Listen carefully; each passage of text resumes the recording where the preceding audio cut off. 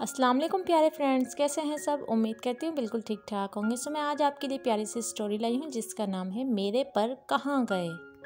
तो अपनी स्टोरी को स्टार्ट करते हैं।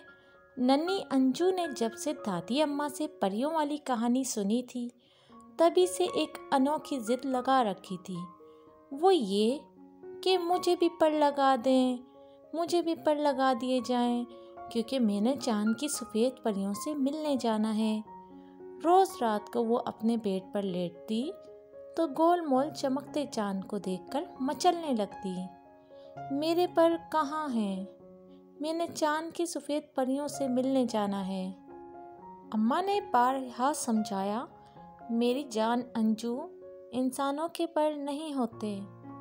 अब्बा ने डांट डपट की, अब अगर आपने पर लेने की ज़िद की तो मैं आपको डोगी के पास छोड़ आऊँगा। भैया ने प्यार से बहलाया। हद के एक दिन भैया कपड़े और जाली के बने हुए प्यारे से पर ले भी आए, जिनके साथ एक खूबसूरत सा सफ़ेद फ्रॉक था। अंजू ने जब उसे पहना तो उसे लगा, अब वो चाँद की परियों से मिलने जा सकती है। लेकिन ये क्या? ये पर तो उड़ते ही ना थे। आखिर अंजू की जिद तो रोज बरोज बढ़ती ही गई। एक दिन अंजू जब सोकर उठी तो उसने देखा, उसकी कमर पर दो बेहद प्यारे से पल लगे हुए थे। अरे, मैं तो उड़ सकती हूँ। ये कहते हुए उसने पर हिलाए तो वो हल्का सा ऊपर को उड़ गई। ये देखकर उसने शोर मचाकर सब घर वालों को इकट्ठा कर लिया। उस दिन अंजू सारा दिन अपने बाग में उड़ती रही।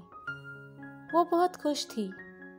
खुदा खुदा करके रात हुई तो अंजू चाँद की परियों से मिलने चली गई। सभी परियाँ उससे मिलकर बहुत खुश हुई। अंजू ने मज़े मज़े के खेल खेले, जो कि उसके पर सुर्ख थे, इसलिए सफ़ेद परियों ने उसका नाम सुर्ख परी रख दिया। बहुत देर तक अंजू सुर्ख परी बने चाँद की परियों के साथ इधर उधर उड़ती फिरी। उसने सितारों के पास जाकर देखा, वो बिल्कुल भी उसकी पहुँच से दूर नहीं थे। फिर वो सूरज मियाँ के पास गई, लेकिन उन्होंने सब परियों को डांट कर भगा दिया, क्योंकि उनके शोर से सूरज मियाँ की नींद खराब हो गई थी। बादल भाई ने परियों को रोकने की बिल्कुल कोशिश नहीं की। क्योंकि उन्हें उनका खेल अच्छा लग रहा था। खेलते खेलते अंजू ने देखा, सूरज मियाँ उठ चुके थे। उन्होंने अंधेरे का कंबल उतार फेंका था और अब वो सितारों को भगाने की तैयारी कर रहे थे।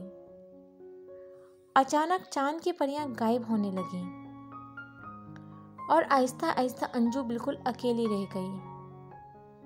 अंजू ने सबको आवाज़ें दी लेकिन जवाब ना मिला। अब तो अंजू को रोना आने लगा। अंजू, उठो बेटा, बुरा ख्वाब, देखा है क्या? अम्मी जान ने प्यार से अंजू को उठाते हुए पूछा।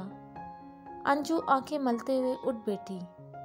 अचानक उसके मुँह से निकला। हाय, मेरे पर कहाँ गए? कौन से पर बेटा? चलो उठो, दादी अम्मा आपको नाश्ते पर बुला रही हैं। आओ मुँह हाथ धो लें। अम्मी जान अंजू को मुँह हाथ धुलाने ले गई। अगर आपको मालूम हो कि सुर्ख परी के पर कहाँ गए तो अंजू को ज़रूर बताइएगा। तो प्यारे बच्चों, आज की स्टोरी अच्छी लगी है तो चैनल को सब्सक्राइब कर दें और वीडियो को लाइक कर दें। Thanks for watching